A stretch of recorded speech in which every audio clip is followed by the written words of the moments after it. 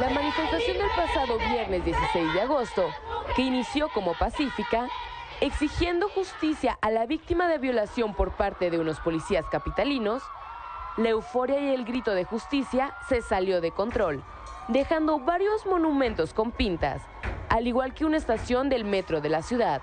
Algunos reporteros fueron agredidos.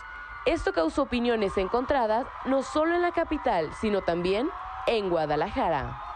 Yo creo que no estuvo mal. Creo que ya toda la gente está harta, eh, mujeres, padres de familia, hermanos, la gente que ha estado sobre todo involucrada o cerca de gente que, que ha sido desaparecida. En este caso, el, el tema de las mujeres y el acoso y todo esto, creo que no estuvo mal. Creo que después de un, un, tiempo de pedir las cosas, de actuar de una manera como lógica o lo que sería tranquila, eh, ya no funciona. Entonces, no es que justifique, pero realmente no se me hizo mal.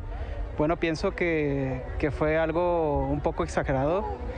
La verdad, este, el vandalismo no, lo apruebo, la verdad no estoy a favor de eso. Entiendo, entiendo la verdad las circunstancias posibles que pasó la muchacha, pero yo creo que esas acciones no fueron las correctas de manifestarse. Creo que hay acciones pacíficas, ¿verdad? Eh, hubo mucho, mucha agresión, hubo mucho vandalismo, Entiendo el punto personal de las mujeres, soy muy respetuoso en eso. No fue la manera correcta de expresarlos que, por ejemplo, de que estamos, nosotras hemos sido siempre que estado calladas, siempre hemos estado de que, ah, es que ya basta, pero esa no fue una manera exacta de expresar lo que sentimos. Lamento mucho que le haya pasado a esta muchacha, pero la verdad es de que no fue exactamente la expresión que tuvieron esas personas, la verdad. Lamento mucho todo esto, pero es cierto, no fue la manera exacta de hasta romper vidrios, aventar diamantina. La diamantina te afecta los ojos, o sea, eso no fue la manera correcta de, de hacer esto, de verdad.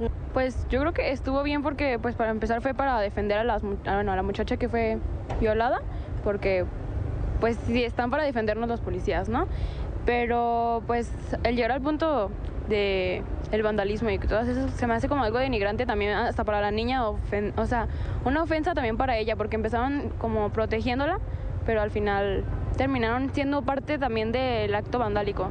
Pese a la situación actual de zozobra que se vive en la capital, las autoridades no se han pronunciado hacia las mujeres con respuestas a sus exigencias. Todos han puesto la mirada a los destrozos ocasionados, dejando de lado el principal objetivo, que era que la voz de las mujeres se escuchara y la justicia llegara a ellas. Con imágenes de Raúl Rico, Telediario, Alejandra Juárez.